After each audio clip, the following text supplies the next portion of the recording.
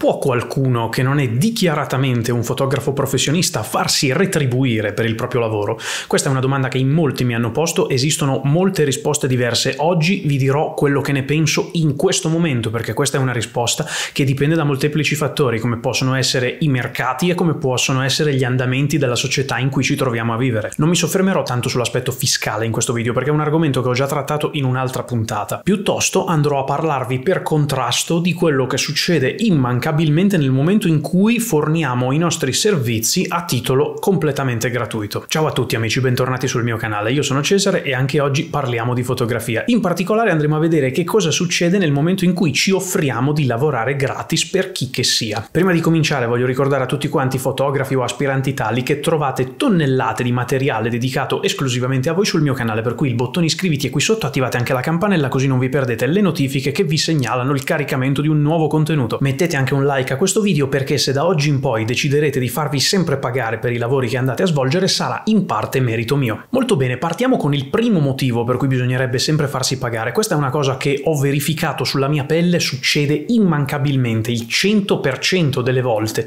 in cui noi andiamo a prestare il nostro lavoro a titolo gratuito, quello che succede nella testa del cliente è che si va a rafforzare la già presente e radicata convinzione che il nostro lavoro sia una cosa di scarso valore, perché tenete conto che il cliente per cui noi stiamo lavorando gratis di certo i suoi servizi non li regala. Quindi il cliente sta pensando che se i suoi servizi valgono qualcosa, i nostri decisamente no, altrimenti alla richiesta di lavorare gratis avremmo risposto no o se non c'è stata nessuna richiesta mai e poi mai ci saremmo offerti noi di lavorare gratis per lui. Ovviamente dal fatto di non farsi retribuire per un lavoro che abbiamo svolto derivano tutta una serie di conseguenze, la più grave delle quali sul lungo periodo mi viene da pensare che sia proprio il fatto che non riusciamo a far crescere la nostra attività. Nel momento in cui io decido di comprarmi una nuova videocamera o un nuovo microfono o una nuova luce, devo in qualche maniera finanziare la mia attività. Da dove li prendo i soldi se non mi faccio pagare per i lavori che faccio? Capite bene che nel momento in cui io mi faccio retribuire sono in grado di fare un salto di qualità, acquistare una nuova fotocamera, acquistare una nuova ottica, portare il mio lavoro a un livello successivo, cambiare computer, pagare le licenze degli abbonamenti che mi servono per lavorare tutta una serie di cose. Se io tutto questo apparato non ce l'ho, se io tutte queste cose non le faccio, il mio lavoro rimane sempre al medesimo livello. Attenzione, il fatto di non avere i soldi per comprare strumentazione costosa non è l'unico danno, noi non abbiamo nemmeno i soldi per investire sulla nostra formazione, eh? quindi non è che sto parlando solo di comprare roba costosa, non abbiamo nemmeno i soldi per crescere a livello mentale, per crescere come professionisti, quindi questo è grave. Tenete conto che io stesso faccio dei corsi,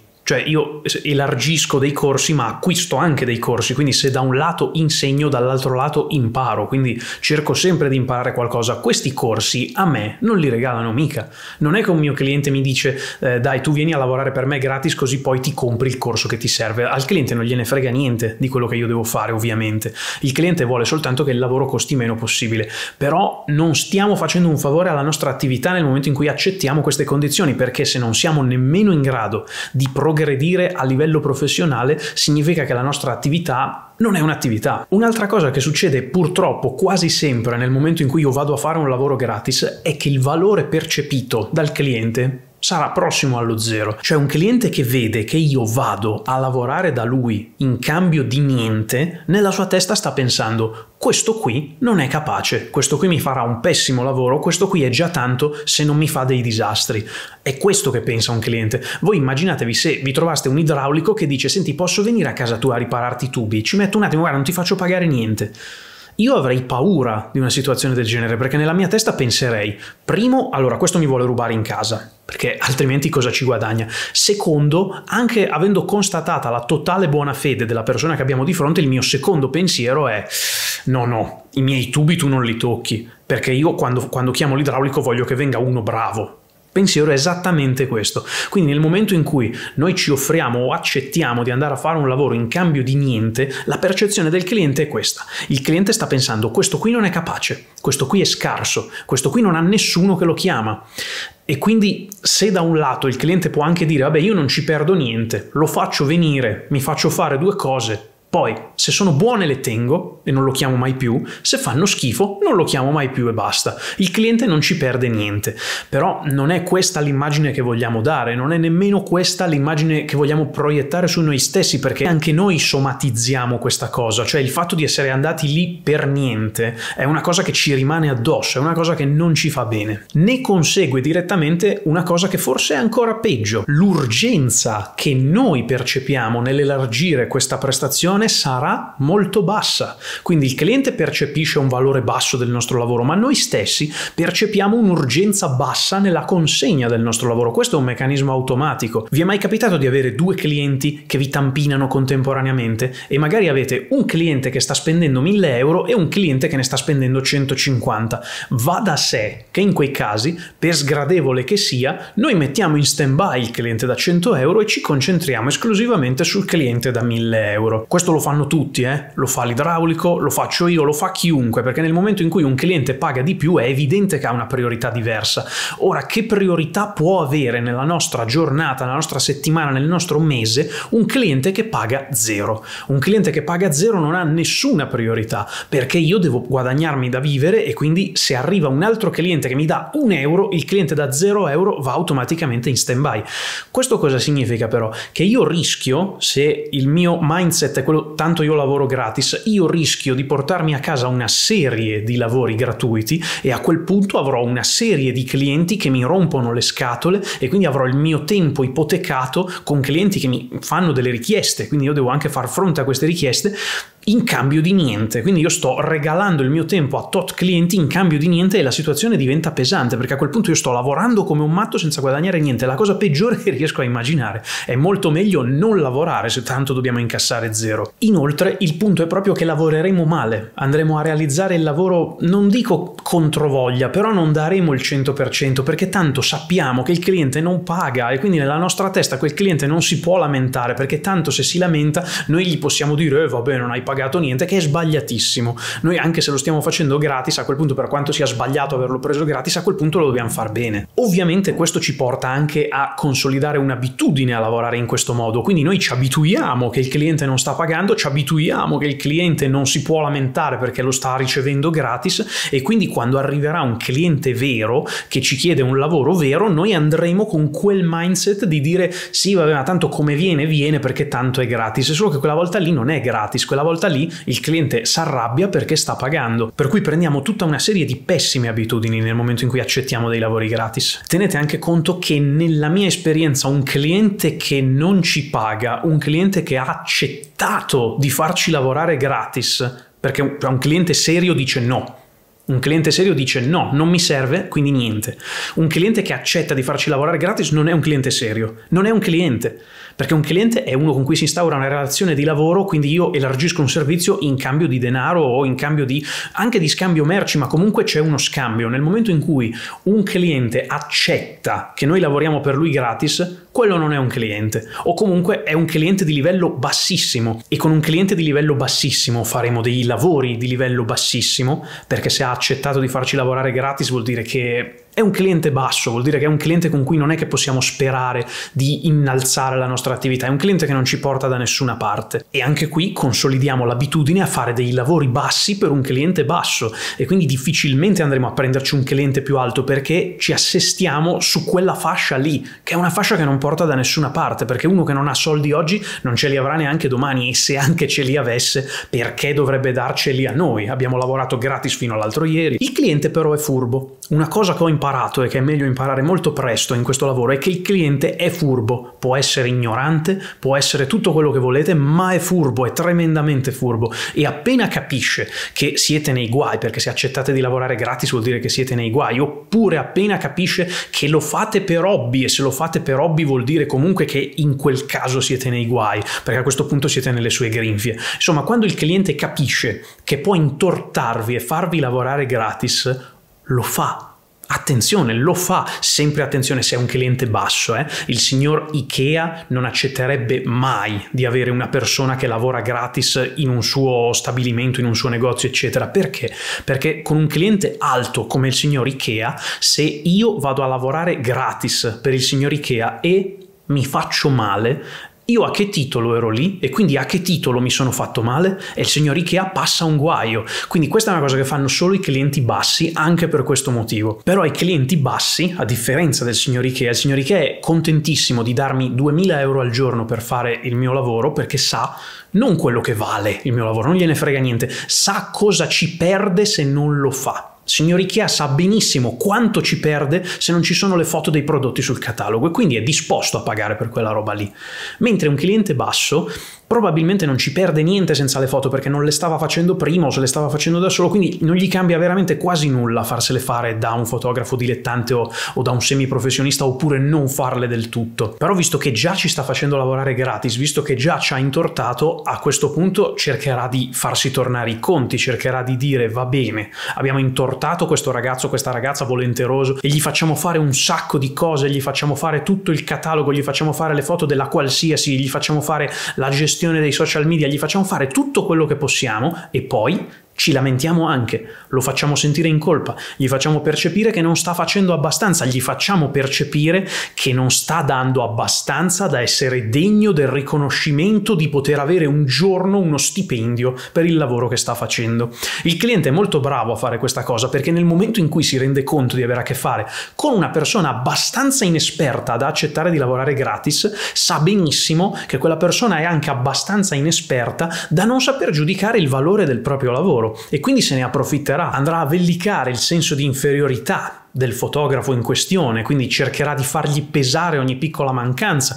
gli farà sempre presente che si poteva fare di più con paragoni assurdi come per esempio ma sul sito di Ikea le foto sono meglio, che è un'assurdità intanto perché le foto sul sito di Ikea non sono niente di che, sono delle foto piattissime, semplicissime con i prodotti belli messi lì, però non sono delle belle foto, sono foto fatte con un certo stile ma non sono belle, sono semplicemente funzionali, però il cliente è furbo, il cliente ci dice sul sito di Ikea è meglio, sul sito di Esselunga è meglio, così così noi ci sentiamo in difetto e continuiamo a dirgli eh finché non imparo continuo a fartelo gratis. Il cliente è bravissimo a fare questo giochino qui, ci fa sentire in difetto, questo lo fanno anche quando pagano, eh? anche quando pagano cercano di farti sentire in difetto perché ti dicono eh però si poteva fare di più, eh, devo pagare per forza la cifra intera, la risposta è sì, devi pagare la cifra intera, se volevi di più pagavi il doppio, te lo facevo uguale, eh? non era quello il problema, è soltanto che sei tu che non hai voluto pagare il doppio, io te lo dico in fase di preventivo, le vuoi come quelle dell'IKEA? Costa tot. Le vuoi non come quelle dell'IKEA, un po' meno belle, vuoi che te le faccia presso la tua sede, quindi non ci sono tutti i fondalini, le lucette, eccetera, te lo faccio pagare di meno ovviamente, però a scelta tua. Ovviamente se siamo alle prime armi non abbiamo magari la prontezza di riflessi di dare una risposta così al cliente. E attenzione, con una risposta così sei anche preparato a perderlo quel cliente, ma è sempre meglio perdere un cliente basso che comunque non ti pagava piuttosto che guadagnarlo, perché a quel punto mi ritroverei a lavorare come un matto per un cliente che non mi paga e che ha delle pretese alte, con la seria possibilità di perdermi magari un cliente più alto che arriva in seguito e che non ho tempo di servire perché le mie attenzioni sono tutte concentrate su quel cliente rompiscatole che mi tartassa di richieste perché tanto è gratis. Il discorso è proprio quello. Nel momento in cui è gratis, e il cliente dice, ma allora se io ti faccio fare una foto è gratis, ma se te ne faccio fare 10 sono gratis, se te ne faccio fare 1000 sono gratis, allora a quel punto te ne faccio fare 1000, è evidente, tanto costa uguale. Capito cosa voglio dire? Nel momento in cui è gratis, il cliente non ha limiti nelle sue richieste e quindi ci farà tutte le richieste possibili e immaginabili e si aspetterà che vengano attese come se stesse sborsando la stessa cifra del signor Ikea. In questo i clienti sono furbissimi, quindi questa è veramente una situazione in cui è meglio non cadere. L'ennesimo l'ennesimo punto negativo è che se per sfiga cosmica il cliente dovesse fare una cosa inaudita, ovvero segnalarci a un'altra attività limitrofa o a un conoscente, un amico, se il cliente dovesse segnalarci a qualcun altro, può succedere, a me è capitato nel corso della mia vita che col passaparola mi arrivassero altri clienti da un cliente per cui avevo lavorato o stavo lavorando, succede, ma se per sfiga cosmica il cliente che ci fa il passaparola è quello per cui stiamo lavorando gratis. E ci arrivano altri clienti che lo vogliono. Gratis il lavoro. O comunque ci arrivano altri clienti che vogliono pagare pochissimo. Cioè il massimo che può succedere è che un altro cliente sentendosi lui in imbarazzo dica vabbè però per me non le fai gratis almeno il caffè te lo offro. Beh, questa, è, questa è la cosa migliore che possa succedere. La cosa peggiore è che ci becchiamo veramente altri lavori gratis. E a quel punto inanelliamo una collezione di clienti con delle esigenze alte. Vogliono tutti i prodotti sul sito come il signor signor Ikea, però non pagano perché tanto le condizioni di partenza erano quelle, non si pagava e quindi hanno accettato per quello. È una situazione da incubo, non credete? Ora veniamo al vero motivo per cui faccio questo video fondamentalmente. Un altro motivo per cui non bisognerebbe prendere dei lavori gratis è perché nel momento in cui stiamo prendendo un lavoro gratis dobbiamo anche ricordarci che lo stiamo togliendo a qualcun altro. Vedetela così, io gratis non lavoro più quantomeno non per dei clienti. Ci può stare che io offra i miei servigi gratis a un amico, a una persona per cui ho simpatia, a un ex cliente che magari mi ha invitato a bere una cosa e lì per lì mi dice senti però potresti farmi uno scatto di questa cosa, io può anche essere che gli dica tranquillo, te la faccio così in amicizia, può essere che sia io a dirlo. Sono casi molto circoscritti, ovviamente, si tratta di amicizie, si tratta non di clienti. Innanzitutto si tratta di lavori con cui non mi pagherei il mese, perché nel momento in cui un cliente mi dice guarda, mh, mm, so che tu prendi 2000 euro al giorno per fare questa cosa, però me la faresti gratis, a quel punto è ovvio che la risposta è no, io i 2000 euro li voglio. Viceversa, se è un lavoretto veloce, cui uno dice ci metto 15 minuti veramente perché ho il set già allestito, devo solo fotografare un oggetto in più, lo metto lì, gli do una pulita e te lo mando, ci ho messo veramente 10 minuti, in quel caso posso essere io a dire dai, dammi sto cavolo di robot, te lo fotografo gratis, non ti preoccupare, siamo a posto così, offrimi una birra. Può essere che capiti una situazione di questo tipo, ma sono io che lo decido. Nel momento in cui qualcun altro decide di prendere un cliente gratis, magari lo sta togliendo a me. E io non gliel'avrei fatto gratis quel lavoro perché non si tratta di un amico che ti dice non è che mi fai una foto col mio figlio che è appena nato. Quella è una roba che te la posso anche regalare, ma, ma con gioia, cioè sei un amico te la regalo una foto con tuo figlio appena nato, ci mancherebbe. Però quello non è un lavoro che mi veniva retribuito tanto. Nel momento in cui un fotografo non professionista prende un lavoro che a me sarebbe stato retribuito tanto e lo fa gratis, mi ha fatto un danno grosso. Mi ha fatto un danno grosso per due motivi. Il primo è che io non vedo i miei soldi. Il secondo motivo è che questo fotografo, con tutto il carico, il bagaglio emotivo e tutti gli handicap di cui abbiamo già parlato nel corso di questo video, andrà a fare quel lavoro e lo farà male. Lo farà male perché non ha la mia attrezzatura che io mi sono pagato con i soldi dei lavori che mi sono fatto dare. Non ha la mia esperienza perché io ho lavorato anche per clienti alti, clienti che pagavano e l'ho fatto anche perché mi facevo pagare. Non facendomi pagare difficilmente avrei preso lavori che poi ho preso. Per cui questo lavoro che questo fotografo sta facendo è devastante per me perché io non sto vedendo i miei soldi e quel cliente è perso perché quel cliente facendosi fare un lavoro che non va bene da un fotografo che non crede lui per primo nelle sue capacità non chiamerà mai più me o un altro fotografo professionista perché si fa un'idea sbagliata del lavoro, si fa l'idea che poteva farsele da solo perché non sono venute tanto bene, non sono venute come le voleva, non rispecchiano quello che lui aveva in testa e quindi la prossima volta se le fa da solo, oppure richiama quello che è andato gratis, ma, ma, probabilmente neanche, perché se non è contento la sua idea sarà sti fotografi le fanno male, ormai col, col, telefonino vengono meglio e quindi me le faccio da solo la volta prossima. Quindi è un danno enorme per me quando qualcuno prende un lavoro senza farselo pagare. Ora veniamo a una questione che ho capito vi interessa molto, ovvero è etico farsi pagare un lavoro anche se non siamo capaci di farlo? Ora vi ripeto, io vi dico la mia opinione qui e adesso. Questa opinione cambia nel tempo perché ci sono stati momenti nella mia vita in cui ero convinto che non avrei mai potuto farmi pagare per il mio lavoro e quindi ero convinto che lavorare gratis andasse bene. Ci sono parimenti stati dei momenti in cui mi sono detto mai più farò una sola cosa gratis. Io senza vedere il conio non mi alzo nemmeno dal divano. Diciamo che sono opinioni mm, un po' estreme. Adesso diciamo che navigo in una sana via di mezzo, come avrete capito dalle mie parole in questo video. Il punto però qual è? Io posso capire che un giovane fotografo dica io adesso questo lavoro lo faccio gratis perché mi serve da portfolio per prendere quel cliente lì. Quindi io faccio un lavoro gratis per andare da quel cliente lì e dirgli vedi che io lo so fare questo lavoro, mi paghi per fartelo anche a te. Questo è l'unico caso in cui io concepisco che si lavori gratis. A meno che, come detto, a meno che non sia un amico, un parente, eh, allora va bene. Ma altrimenti questo è l'unico caso in cui si può lavorare gratis, ma una volta. Cioè non è che se io voglio fare il fotografo di matrimoni faccio 160 matrimoni a gratis per poi avere un portfolio, no, ne faccio uno di matrimonio gratis. E a quello successivo dico guarda ne ho fatti un po', questo è l'unico che mi ha dato il permesso di utilizzare le foto per la mia attività, eh, quindi questo è il mio portfolio, prima o poi ne prendi un altro e con il prossimo arricchisci il tuo portfolio, ma non ne fai 300 gratis. Capito cosa voglio dire? Cioè, non deve diventare l'abitudine a lavorare gratis. Io posso capire che uno dica, Ferrari, tu hai fatto tanti lavori in ambito fotografia industriale, va bene. Quindi io ho un portfolio di fotografia industriale. Sì, io capisco che un fotografo inesperto alle prime armi dica io non ho un portfolio di fotografia industriale, quindi faccio dei lavori di fotografia industriale per farmi un portfolio.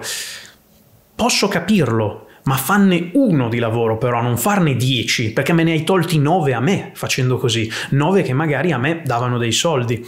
E nove che a te non daranno mai più dei soldi, perché ormai sei andato gratis, la prossima volta o se le fanno da sole o chiamano me, perché magari non sono contenti di quelle che gli hai fatto, quindi comunque è a perdere. Nel momento in cui le facciamo, facciamole bene, non facciamole con sufficienza perché tanto è gratis, facciamole al nostro meglio e cerchiamo di farle con l'obiettivo di andare a prendere un altro cliente più grosso, se no non è servito a niente, abbiamo perso tempo noi, fatto perdere tempo al cliente e fatto perdere tempo anche a me che devo cercarmi altri clienti perché quelli lì ormai sono bruciati. La domanda che molti mi fanno è ma se io non sono capace? che magari è il mio primo matrimonio, posso farmi pagare lo stesso? Allora ragazzi, di nuovo, io su questa cosa posso cambiare idea, ma se me lo chiedete oggi, la mia risposta è Assolutamente sì, potete farvi pagare. Questo per almeno due ottime ragioni. La prima è che comunque state lavorando.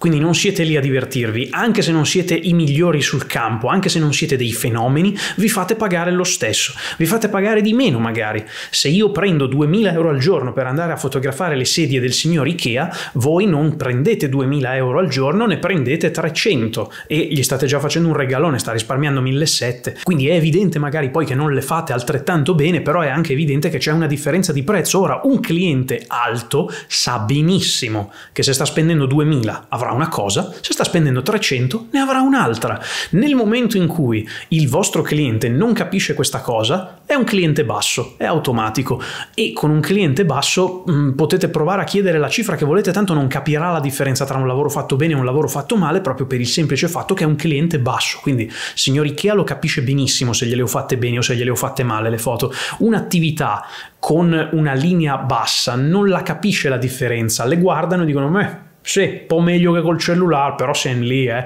Cioè non, non, la capiscono questa cosa, non hanno la cultura dell'immagine per capirla. Quindi ci facciamo anche meno scrupoli a chiedergli una cifra, perché tanto ci diranno sì o no basandosi su altri parametri che non sono il, la nostra competenza o il nostro talento, ma sono semplicemente ce li ho i soldi in questo momento, o sbatti di farmelo da solo, oppure preferisco dare due soldi allo scugnizzo.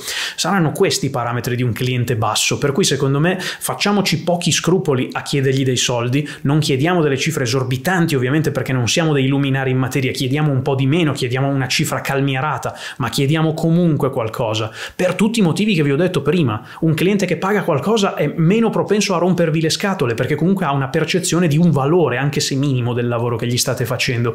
Un cliente che paga qualcosa non si abitua che il lavoro è gratis. Un cliente che paga qualcosa non ha una percezione di voi come dei minus abens che non hanno niente da fare, dei perdigiorno che stanno lì a giocare con la macchina fotografica. Un cliente che paga qualcosa sarà comunque un minimo educato a capire che ha avuto in relazione a quanto ha pagato mercato. Se voleva qualcosa di più, si poteva fare, ma doveva spendere proporzionalmente di più perché così funziona, come in tutto. In ultima istanza tenete anche conto che i clienti insoddisfatti e rompiscatole ci sono sempre. Ci sono che stiate lavorando gratis, ci sono che stiate prendendo una cifra inferiore a quello che è il vostro reale valore e ci sono anche se avete chiesto i famosi 2000 euro al giorno. Il cliente rompiscatole c'è sempre. La differenza qual è? Che nel momento in cui il cliente ha pagato 2000 euro, io sono al suo servizio e per tutte le sue paturnie sono lì a sistemargliele, a fargli vedere che c'è una soluzione, a fargli le cose esattamente come lui le vuole. Perché se ha pagato 2000 euro al giorno e magari io ho lavorato tre giorni, io per quel mese sono a posto, quindi posso dedicare tutte le mie energie alla soddisfazione di quel cliente e così dovrebbe essere. Nel momento in cui un cliente ha pagato 300 euro e avrà magari le stesse pretese del signor Ikea che pagava 2000, io farò molta fatica a star dietro a tutte le sue richieste perché con 300 euro significa che dovrò trovarmene altri 4 di clienti come quello, almeno, per chiudere il mese. 4, anche di più, anche 6. Per cui farò fatica a quel punto, starò lavorando tantissimo per tanti clienti, tutti con uguali richieste, tutti che pagano poco. Immaginatevi dei clienti che non pagano.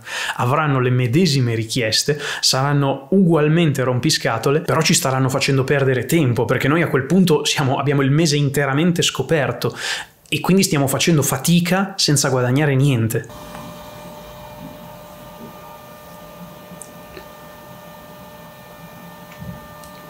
Tutto questo dove ci porta? Beh, a cose che in fondo sapevamo già. Il lavoro deve essere retribuito, il lavoro deve essere retribuito proporzionalmente alle nostre capacità, quindi è evidente che se valiamo tot non possiamo chiedere meno di tot, è altresì evidente che se lo facciamo per hobby, se non siamo professionisti, non andremo a chiedere 2000 euro al giorno, andremo a chiedere una cifra calmierata, ma è comunque buona norma chiederla quella cifra. Se il cliente non è disposto a pagare quella cifra, non è un cliente ed è meglio se ci troviamo qualcos'altro, sia per fare portfolio, sia se stiamo giocando per il nostro gusto. Andiamo a cercarci qualcos'altro. Andiamo piuttosto a cercare una situazione di collaborazione, perché piuttosto che andare a lavorare gratis, piuttosto andiamo a collaborare con delle persone che condividono con noi una specie di progetto, un percorso dove possiamo creare una sinergia, ma andare a lavorare gratis, ripeto, a meno che quel lavoro non ci serva per prendere un lavoro più alto, io posso capire se si va a fare delle fotografie al falegname sotto casa per fotografare due sedie in modo da andare dal signor Ikea a dirgli guarda so fotografare le sedie mi fai fare le tue, quello lo capisco, ma è l'unico caso. Per tutto il resto cerchiamo di farci pagare proporzionalmente a quello che percepiamo essere il nostro valore. Se avete dei dubbi su quale sia il vostro valore e su quale sia la cifra che dovete chiedere, scrivetemelo nei commenti oppure contattatemi in qualche altra maniera che preferite, così avremo modo di approfondire e di capire quanto dovete chiedere in base alla vostra esperienza, competenza e alla vostra strumentazione, anche se attenzione, se vi manca la strumentazione quella si può noleggiare. Per cui nel momento in cui un cliente vi dice serve un lavoro con una strumentazione fantascientifica, voi non ce l'avete, ok, Te la metto dentro nel preventivo e la noleggio. Non facciamoci fermare da queste stupidate. Quando dobbiamo fare un lavoro con una strumentazione che non abbiamo, si noleggia. Non ci sono problemi, non facciamo diventare un problema qualcosa che non lo è. Bene amici, come già detto, per tutto quello che volete chiedermi, io vi aspetto giù nei commenti. Vi ricordo di iscrivervi al canale così non vi perdete eventuali prossimi episodi sempre su questo tema o su altri temi di fotografia, videomaking e design che potrebbero interessarvi molto. Per cui cliccare sull'iscrizione è completamente gratuito, la campanella è ancora più gratuita. Mettete anche un like a questo video perché tutti i soldi che guadagnerete da oggi in poi saranno per merito mio. Con questo io ho finito e vi do appuntamento al prossimo video.